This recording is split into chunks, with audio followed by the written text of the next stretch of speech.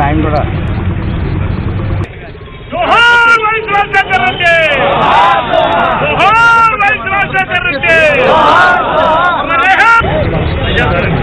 ఖాళీ సార్.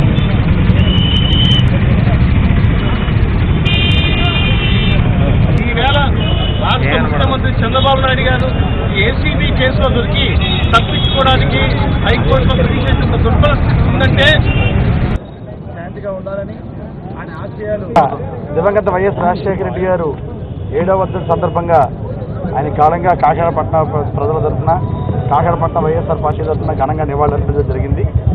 ఏదైనప్పటికీ ఆ మహానుభావుడు మన మధ్య లేకపోవడం చాలా తీరం లోటు. ఈరోజు రాష్ట్రం ఎంత ఎంత అతలాకుతలం అయిపోయి ఉందో ప్రజలందరూ కూడా గమనిస్తున్నారు. ముఖ్యంగా తప్పుడు హామీలు చేయని హామీలు చేయలేని హామీలు కూడా జనాలకు చెప్పి జనాలను మోసం చేసి అధికారులు రావడం జరిగింది చంద్రబాబు నాయుడు.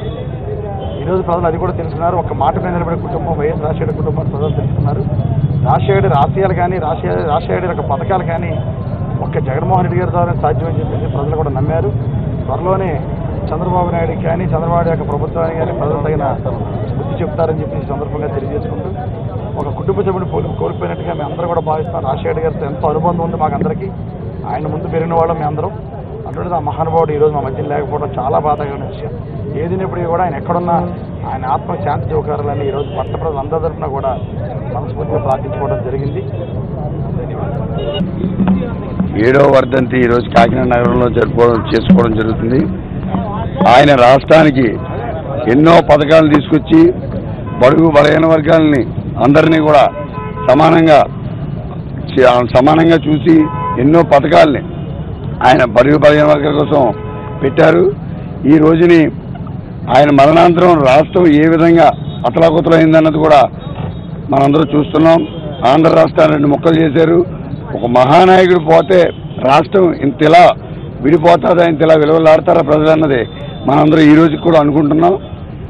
రాజశేఖర రెడ్డి గారు ఏ పథకాలు అయితే పెట్టారో అవన్నీ కూడా ఇప్పుడున్న రాష్ట్ర ప్రభుత్వం చంద్రబాబు నాయుడు గారి ప్రభుత్వం అవన్నీ తొంగలోకి తొక్కేసి ఆలోచనలో వెళ్తున్నారు.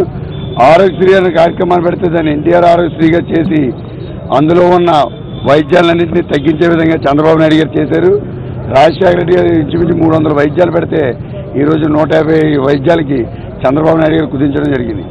అలాగే ఎన్నో కార్యక్రమాలు. ఆయన ఏ ఆశయాలతో అయితే ప్రజల్లోకి ముందుకెళ్ళారో జగన్మోహన్ రెడ్డి గారు కూడా ఆయన ఆశయాలకు అనుగుణంగా వైఎస్ఆర్ కాంగ్రెస్ పార్టీ స్థాపించి రాజశేఖర రెడ్డి గారు ఏ కార్యక్రమం అయితే చేయాలనుకున్నారో వాటిలన్నింటినీ కూడా జగన్మోహన్ రెడ్డి గారు చేపడుతూ నిత్యం ప్రజలతో పోరాడుతూ ప్రజల కోసమే నిత్యం జనంలో ఉండే మనిషి జగన్మోహన్ రెడ్డి గారు. రాజశేఖర రెడ్డి గారి ఎక్కడున్నా ఆయన ఆత్మ శాంతించాలని చెప్పి మేము ఘనంగా ఇవాళ నివాళులు అర్పిస్తున్నాం. రాజశేఖర రెడ్డి గారు వర్ధంతి కార్యక్రమం ఇచ్చేసిన మాజీ ఎమ్మెల్యే గారు చంద్రశేఖర రెడ్డి గారు ఆ, ఆధ్వర్యంలో జరుగుతుంది. ఒకటి ఏంటంటే రాజశేఖర రెడ్డి గారు ఉన్న లేని లోటు ఈ రాష్ట్రానికి అయితే మాత్రం చాలా అందరికీ తెలిసింది.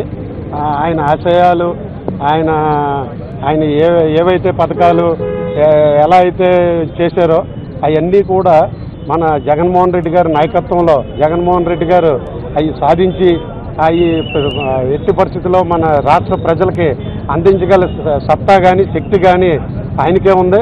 సో మన అందరం కూడా జగన్మోహన్ రెడ్డి గారి నాయకత్వం నాయకత్వంలో మనం ప్రయాణించి దివంగత నేత రాజశేఖర రెడ్డి గారు ఆశయాల్ని మనం ముందుకు తీసుకెళ్తూ ఆయన ఎక్కడున్నా సరే ఆయన ఆత్మ శాంతించాలని కోరుకుంటూ సెలవు తీసుకుంటాం